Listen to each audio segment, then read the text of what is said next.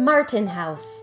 The earliest record found on this property shows that Charles Bruce's son sold the land to Valentine Allen in 1835. Often referred to as the Martin House, Alexander Strong Martin, son of former Governor Alexander Martin, bought these 448 acres of land in 1838. It is unclear exactly when the home was built, but the National Register of Historic Places states that it is among the earliest dwellings in the historic district and was built circa 1835. In 1919, A.J. Ayers purchased the home and acreage. From the 1920s to 1950s, it was a working farm that raised tobacco, corn, and wheat.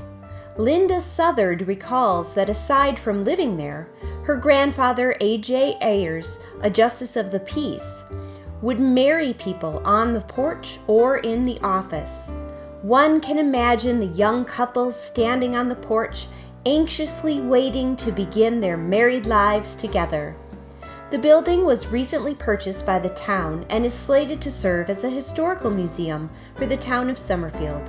It is part of the Summerfield Historic District.